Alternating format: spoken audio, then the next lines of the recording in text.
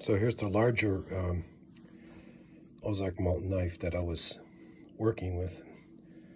And I showed you that. And here's the smaller ones. and it works good with the with the ferro rod.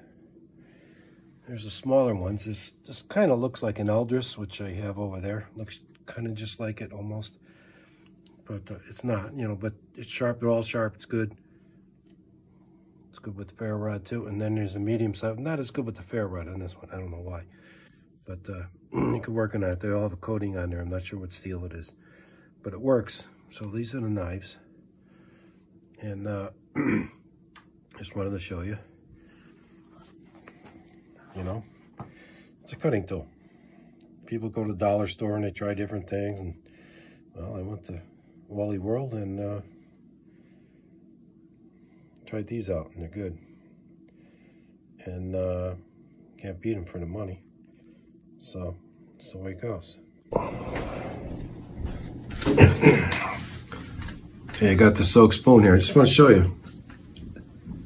This knife costs like five bucks. I got three knives for $15. It's an Ozark uh, Trail. Kmart got it yesterday. Um, took it out, out of the box, cut paper. Um, really good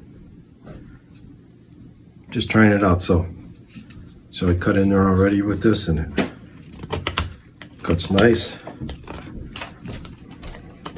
I think they tried to emulate a Mora knife and it's definitely not that because it kind of looks like that and has the, you know, case very similar.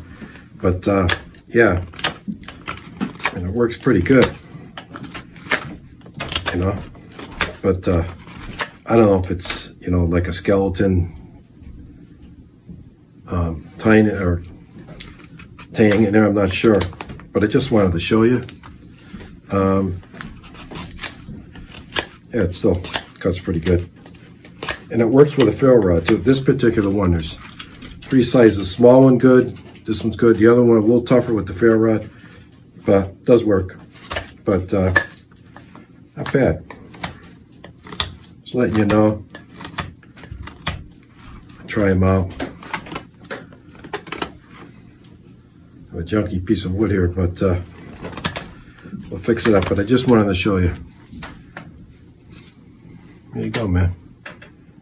Um, I've tried mossy oak knives there, and I don't like the steel. It doesn't work at all, but I've always had good, with the Ozark Trail for the money, you can't beat it.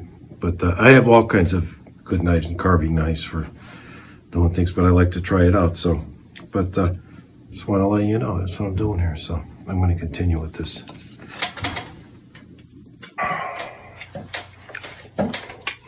Anyways, uh, using that uh, inexpensive Ozark knife here.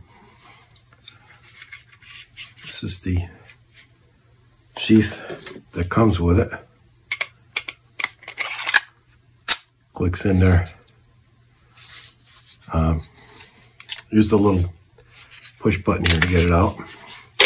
And, uh, but from the last section I showed you, you know, basically this uh, shaped it out. And I'm going to touch it up more, obviously. It's, it's, just a rough thing, and I have to scoop it out. But uh, in a pinch, it works, man. Extra tool, back up. I wouldn't uh, depend on it for your life, but uh, for the money, you can't beat it. Now, I do have the full tang ones, which I like very much, and that's the only reason I get another full tang one, because I wanted to try these. These are a little different. They have one that looks like the Eldris, and they have another smaller one. But uh, yeah, Quiniesmo Ferro Rod. I just want to show you this. I try it out, you know, instead of taking out of the box, say, oh, here's the knife, you know, I, I do spoons and things. This wood is uh, seasoned oak, but still a little wet, a little bit. So, you know, it's not all that easy. In a pinch, you know, but uh, so you take care. So anyways, I just wanted to show you those knives and uh, it's a elk skin sheath. My friend made this for me and he gave me a knife too. It's pretty good, makes all kinds of stuff. Got a nice hatchet and uh, elk handled saw. Pretty cool. But anyways, what am I doing? I'm getting ready for small winter camp out, um, regular camp out. my club, and then uh, like a mountain man camp out first week weekend in March, and uh, getting ready for that. There's going to be a lot of new people there, and I'm going to provide shelter for them, and uh, so I have to use my bigger tent. So I have to tweak that a little bit. I haven't used it in a while, so. But uh, and I'm constantly making spoons and using some uh, cutting board butter, pretty good, and uh, always doing something here.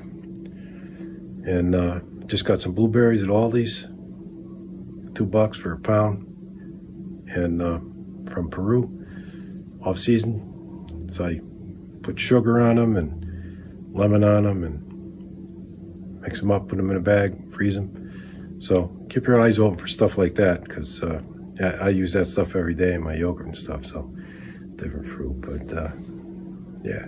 So I just want to show you those knives and uh,